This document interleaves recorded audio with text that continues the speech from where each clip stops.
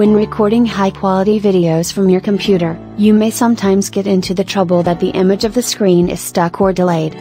Want to smoothly capture your screen with no lag?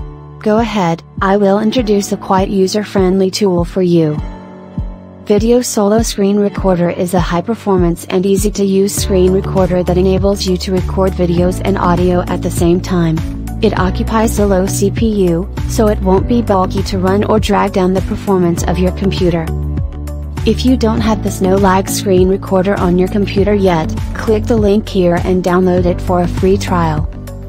As you can see, it provides free and pro versions. Even though you are on a free trial, you can enjoy a variety of amazing features. But if you want to clip the video or audio when you preview, we highly recommend you the pro version.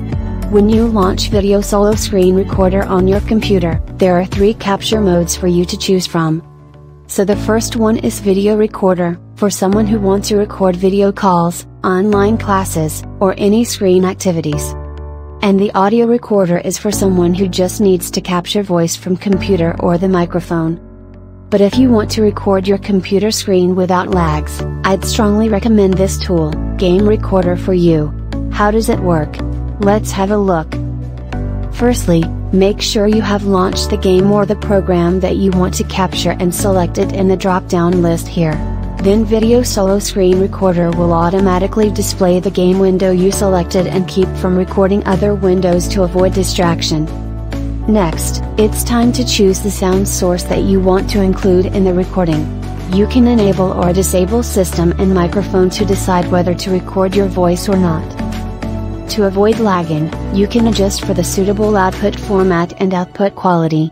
Click the preference here, and you will find lots of high quality formats include MP4, WMV, MOV and AVI. You can set lossless video quality and 60 FPS frame rate. But make sure you have enough computer memory to store it. You can also move to the sound section to have a sound check before recording. When all the settings are done, click the Rec button on the right side to start recording your gameplay.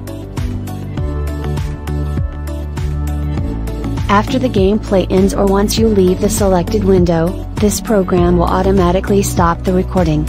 Also, you can directly press the hotkeys as you like. When stopped, a preview window will pop up. Click the Save button to rename this recording file and choose the destination folder. OK, now you can click the Open folder to locate the recording on your computer. That's all about how to record your computer screen for free without lag. If this video helps, don't forget to give a like and subscribe to this channel for more tips and tricks.